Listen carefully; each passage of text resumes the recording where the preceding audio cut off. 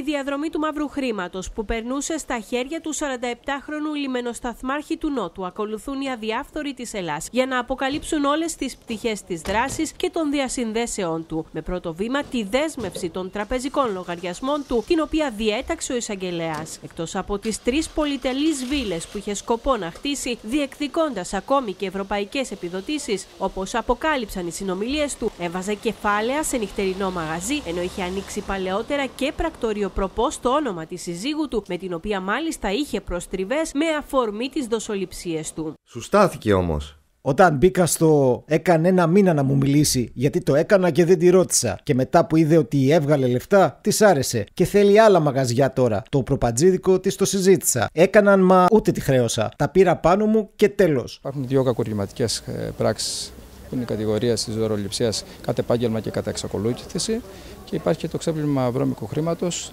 σαν ε, δύο βασικές κατηγορίες. Οι συνομιλίες του με άτομα τα οποία εμπιστευόταν και συμβουλευόταν για να εμφανίζει κεφάλαια αρκετά ώστε να εξασφαλίσει την κοινοτική επιδότηση είναι χαρακτηριστικές για τις βλέψεις του 47χρονου, ο οποίος έψαχνε τρόπο να ξεπεράσει τις απαγορεύσεις για την εμπλοκή του στο ιδιοκτησιακό καθεστώς εταιριών και ήταν έτοιμος να εμφανίσει ως μέτοχο ακόμη και την ηλικιωμένη μητέρα του. Θέλω να βάλουμε συνδικαιούχο τη γυναίκα μου στα επενδυτικά. Μετοχές, ομόλογα.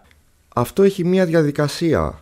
Στην προθεσμιακή δεν την έχεις. Ναι, την έχω, αλλά δεν φτάνουν. Και πόσα είναι τα λεφτά που θέλεις να τις βάλεις, Τα 20.000 ευρώ; Όχι στα 39 χιλιάρικα, είναι 40. Ωραία, στο αμοιβαίο μπαίνει και στο εταιρικό μπαίνει. Ναι, ωραία. Στο αμοιβαίο θέλω. Βασίζεται σε άρση απορρίτου επικοινωνιών επιδήμηνων και ό,τι άλλο έχουμε να πούμε, παιδιά, θα τα πούμε αναγκαστικά στην ανάκριση όταν έχουμε και εμείς προετοιμαστεί και έχουμε λάβει γνώση του ογκοδέστατου φακέλου της δικογραφίας. Το περιστατικό που έκαψε το λιμενοσταθμάρχη, ο οποίος απολογείται αύριο το μεσημέρι και στάθηκε η αρχή του τέλους για τη δράση του, διαδραματίστηκε το Νοέμβριο, όταν απέτησε 800 έως 2.000 ευρώ από τον πλειοκτήτη σκάφους για να περάσει αλόβητος από επιθεώρηση, την οποία όμως ο ίδιος δεν είχε καμία αρμοδιότητα να κάνει, αφού του είχε αφαιρεθεί εδώ και ένα χρόνο η άδεια μετά τον εντοπισμό πλοίου που είχε κρυθεί από τον ίδιο αξιόπλο, όμως ακινητοποιήθηκε σε λιμάνι της Ιταλίας με πάνω από 40 παραβάσεις.